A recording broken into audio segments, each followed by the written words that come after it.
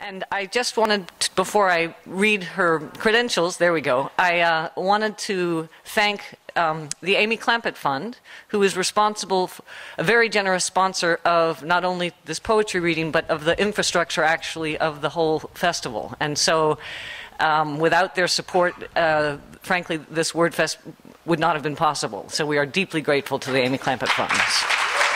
So. And now I'm honored to introduce to you one of the nation's leading poets, Mary Jo Salter. Thank you, Susan.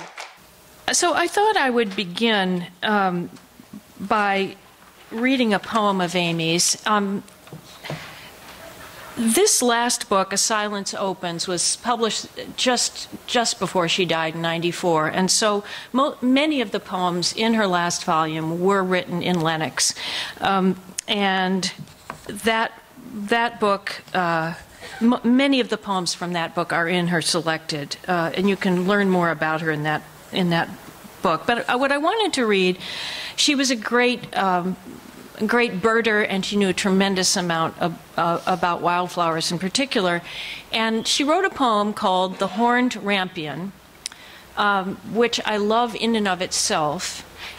And it also itself is going to recur in one of my own poems that I'm going to read to you later. So I thought I'd start the reading with Amy's poem, and I will end the reading with my poem about Amy. If I can hold on to my pages. Okay. The Horned Rampion. Daily, out of that unfamiliar, entrancingly perpendicular terrain, some new and, on minute inspection, marvelous thing would be opening. Yet another savory, flowery permutation of saline or salvia, of scabious, of rock rose, of evening primrose, of bellflower such as the one I'd never before laid eyes on the like of, spurred, spirally airy, a sort of stem born baldachin, alone, poised, hovering rarity, hued midway between the clear azure of the rosemary and the aquilegia's somberer purple, that turned out to be named the horned rampion. Next day, it was no longer singular, but several. The day after, many. Within a week, it was everywhere, had become the mere horned rampion, had grown so familiar I forgot it, had not thought of it since, it seems, until the moment a volume of the Encyclopedia Britannica, pulled down for some purpose, fell open at random, and there was the horned rampion, named and depicted, astonishing in memory as old love reopened, still quivering. The wind is blowing. Can you hear me? Is it okay? Yeah. All right. I'm now going to read a poem that I wrote in Lenox. Um, and I hope I'm not offending anyone, but um, I was walking through town and I came upon some Morris dancers, and um, I thought they were pretty ridiculous. Okay, so here we are a Morris dance. Across the common on a lovely May day in New England, I see and hear the Middle Ages drawing near, bells tinkling, pennants bright and gay, a parade of Morris dancers. One plucks a lute, one twirls a cape. Up close, a lifted pinafore exposes cellulite and more. oh, why aren't they in better shape, the middle aged Morris dancers? Already, it's not hard to guess their treasurer, her, their president, him, the Wednesday night meetings at the gym. They ought to practice more, or less, the middle aged Morris dancers. Short winded troubadours and pages, milkmaids with osteoporosis. What really makes me so morose is how they can't admit their ages, the middle aged Morris dancers. Watching them gambling and tripping on maypole ribbons like leashed dogs, then landing thunderously on clogs, I have to say I feel like skipping the middle aged Morris dancers. Yet bunions and receding gums have humbled me. I know my station as a member of their generation. Maybe they'd let me play the drums, the middle aged Morris dancers. Thank you.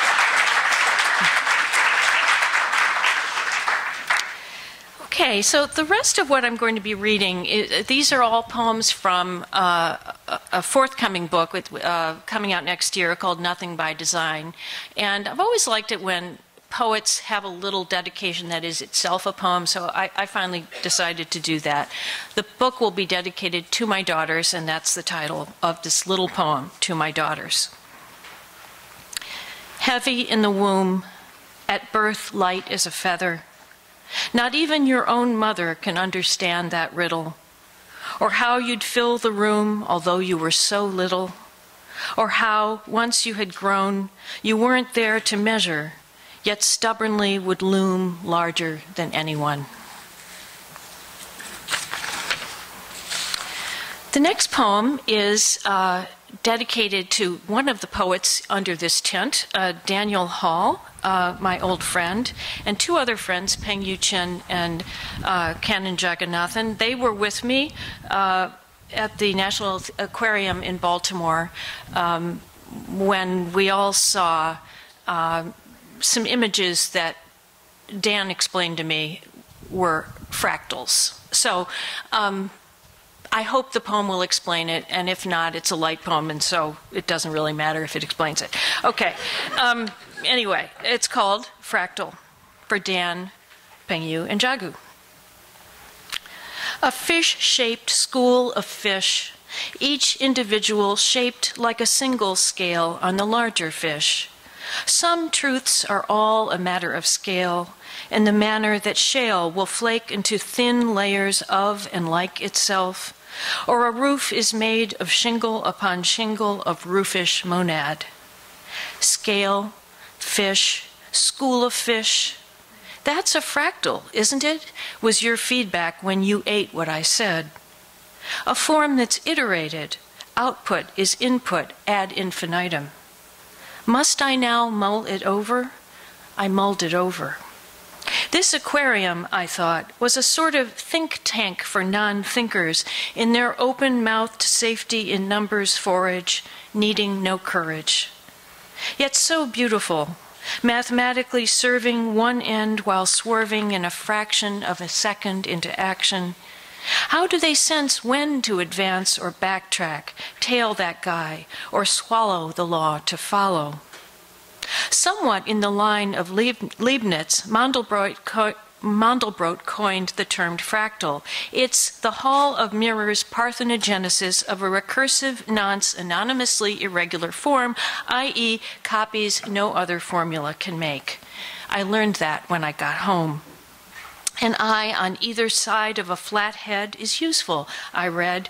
Herring have a keen sense of hearing, but it's not that that gives them their unerring high polarity, pooling together just close enough to discern skin on a neighbor, far enough to skirt collision.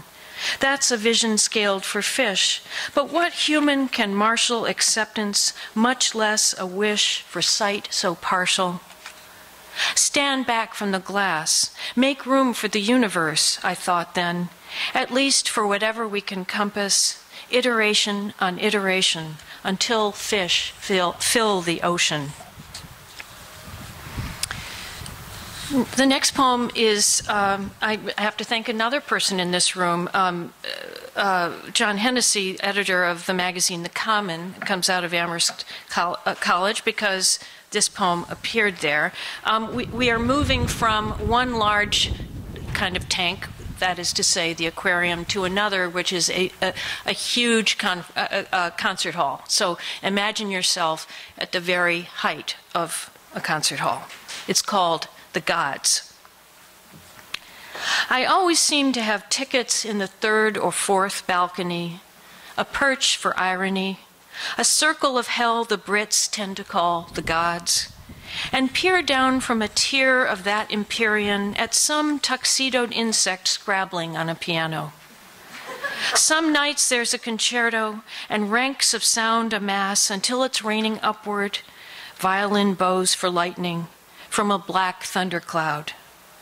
A railing has been installed precisely at eye level which leads the gaze, frustrated, still higher to the vault of the gilt encrusted ceiling, where a vaguely understood fresco that must be good shows nymphs or angels wrapped in windswept drapery.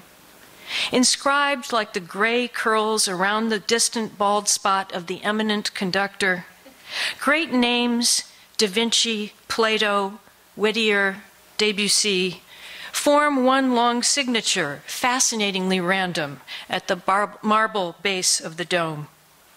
It's more the well fed gods of philanthropy who seem enshrined in all their funny, decent, noble, wrong postulates, and who haunt these pillared concert halls, the tinkling foyers strung with chandeliered ideals, having selected which dated virtues, courage, honor, brotherhood, rated chiseling into stone having been quite sure that virtue was a thing all men sought, the sublime a mode subliminally fostered by mentioning monumentally.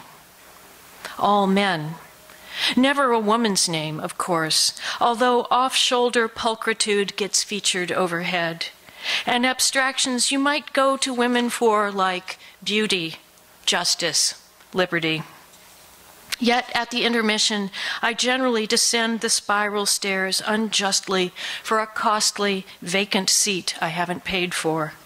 Tonight, I've slipped into D9.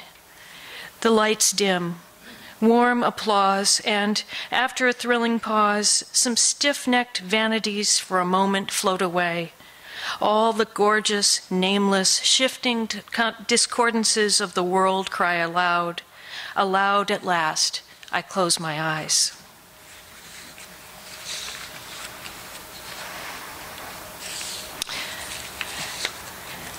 I'm going to reverse the order of a few things. Um, how am I doing? Um, this, I have two poems about divorce to read. Um, one is fierce, and one is wistful. And those of you who have been through it know that you have many more emotions than that. This is the first one, this is the fierce one. It's called Complaint for Absolute Divorce. A little something to endorse. Download attachment, print and sign complaint for absolute divorce, the lawyer wrote with casual force. Yet why complain? The suit was mine. A little something to endorse complaint. Sheer poetry, of course, more lofty than lament or whine. Complaint for absolute divorce, so well phrased, who could feel remorse? That absolute was rather fine. A little something to endorse the universe as is, for worse, for better, nothing by design. Complaint for absolute divorce, let me salute you sole recourse. I put my birth name on the line, a little something, and endorse the final word then in divorce. Okay.